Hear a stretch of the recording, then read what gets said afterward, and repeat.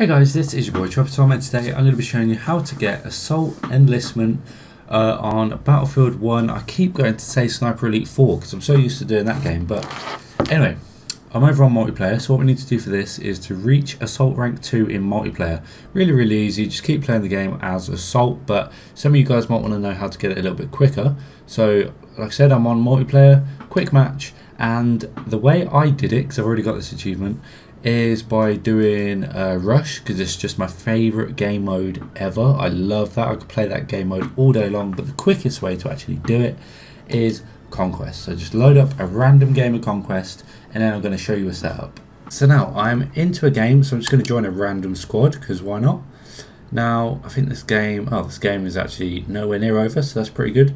So we're going to go over to the Assault class, uh, press Y to customize it, and then you can see my assault rank is in the top left hand corner and I'm assault rank 4 so I'm well past 2 assault rank uh, sorry assault is probably my favorite class.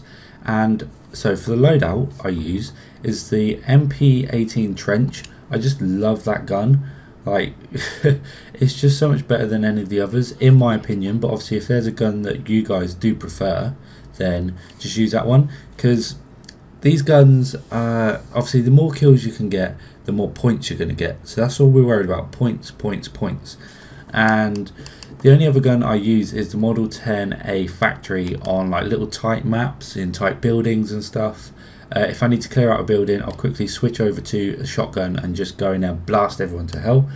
For the sidearm, again, it's all down to personal preference. I do kind of like this revolver style gun, but yeah, if you miss, you're kind of screwed. So most people, I'd say, use the M1911.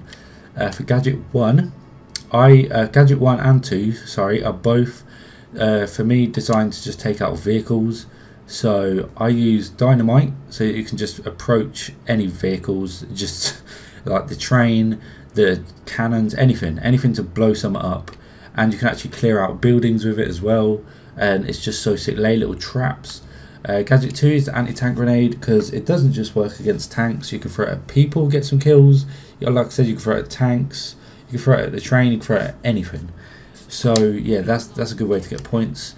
Uh, so you don't want the stick grenade. I mean, I use the stick grenade myself, but to be honest, for points, you want the gas grenade because you can just throw this at, say, an objective, uh, you know, a flag or anything that is being taken, and you'll most likely get some points. Whereas if you throw a grenade over there, you have to be pretty accurate.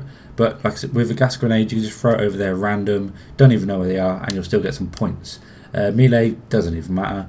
So let's just go uh, into the game and show you an example of how to get some points.